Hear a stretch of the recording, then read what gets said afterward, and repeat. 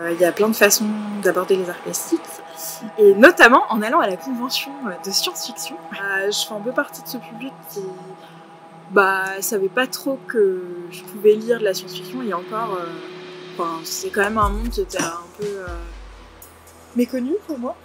Alors, l'expo euh, qui m'a particulièrement marquée, et notamment euh, pour ces échanges, c'est celle de Didier Cotier, qui est un artiste, euh, un dinosaure, je dirais, de la science-fiction d'une certaine façon, parce que il a fait 33 conventions, si je ne me trompe pas. Il était à la fois composé de, de dessins à l'encre, on dirait des sortes de villes en fait, plus ou moins abstraites. Il y a plein de lectures qu'on peut y faire différentes. Comment on l'aborde, on peut y voir une multitude de détails. Enfin, il y avait un côté un peu vermeer, je trouvais. Il étudie vraiment toutes les possibilités jusqu'au bout. Donc, euh, il a vraiment un process qui est très long pour chaque œuvre, que ce soit pour euh, ses séries de dessins à ou euh, pour ses peintures, sculptures, parce que il a aussi présenté des grands formats qui m'ont particulièrement marqué, où en fait il utilise, il travaille d'abord ses fonds ça, faisait un peu désertique, presque cosmique. Euh, on peut y voir des coulures. Euh, il peut chercher même pendant des jours et des semaines à, trouver l'équilibre euh, de sa composition, rien que pour le fond. donc il place tout un tas de petits éléments qui va chiner un peu partout. c'est que de la récup, des pièces, des petites pièces. Enfin là, il m'expliquait que par exemple, il y, a des, il y a des morceaux de verre qu'on peut voir dans certaines de ces sculptures peintures. Euh, qui sont des morceaux d'ampoules de, réverbères euh, parisiens, euh, où il extrait en fait vraiment le haut de l'ampoule pour en faire. on dirait qu'il fait qu'il y a une sorte d'objectif ou de fenêtre, un peu comme une capsule dans certaines de ses œuvres, qui va être souvent centrée. Et aussi, c'est tout le travail d'expérimentation qu'il fait autour du plastique. Il va fondre, il va travailler par série d'expérimentation. il va faire une centaine d'échantillons. Et parmi la centaine d'objets qu'il va traiter et retraiter, euh, sur toutes les bah, il va en sélectionner une dizaine pour euh, ensuite euh, créer sa composition. Souvent, c'est des éclatements. C'est un amoncellement de petits objets. On peut se dire, est-ce que c'est les restes d'une civilisation passée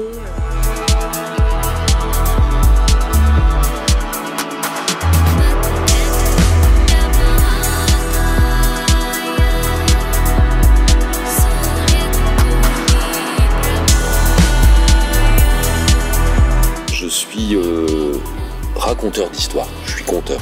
Je le faisais de manière orale. Et je me suis retrouvé avec ce confinement euh, sans spectateurs, sans personne pour écouter mes histoires. Il y a des conteurs qui se sont mis à raconter leur histoire sur Internet. Moi, je ne pouvais pas le faire. Et euh, je me suis mis à dessiner. Il y a quelque chose d'obsessionnel et de très répétitif dans mes dessins qui crée une espèce de transe dans laquelle euh, mon esprit est parti ailleurs et s'est mis à voyager et s'est mis à suivre les pas d'un alias. Et je me suis retrouvé dans une cité euh, imaginaire. Et je me suis mis à dessiner des bâtiments de cette cité imaginaire. Alors là, je suis euh, ici pour cette convention, la 50e, et c'est la première fois que j'y viens. J'y suis venu à l'invitation de Pierre. Je lui avais montré quelques objets, notamment euh, celui-ci, et quand il a vu ça, ça l'a amusé. Il m'a dit pourquoi tu t'amuserais pas à faire euh, des armes? Et je me suis retrouvé comme un gamin à fabriquer des armes avec euh, des, trucs de récup. Bah, je pense que dans la fabrication d'armes, ce qui m'a plu, c'était un retour, clairement un retour vers l'enfance. Et je me suis dit, ces armes, c'est peut-être euh, les armes des pauvres. Un moyen de lutte des petits et des pauvres, c'est le détournement, la poésie. J'ai exposé il n'y a pas très longtemps dans une galerie près de la mer. Il n'y avait personne dans la galerie et moi j'étais dehors. Et je vois un monsieur en bleu de travail qui approche et qui n'osait pas rentrer. Et euh, je l'ai laissé faire. Il a fini par rentrer.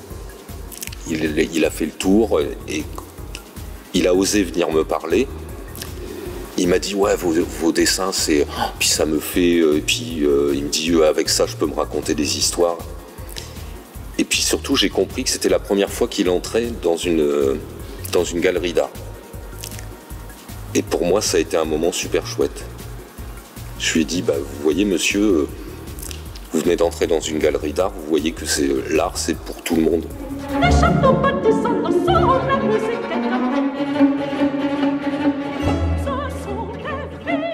Bonjour, deux choix s'offrent à vous. Ou alors, vous décidez de finir votre voyage ici, ou bien vous participez à la nuit. Quel choix faites-vous?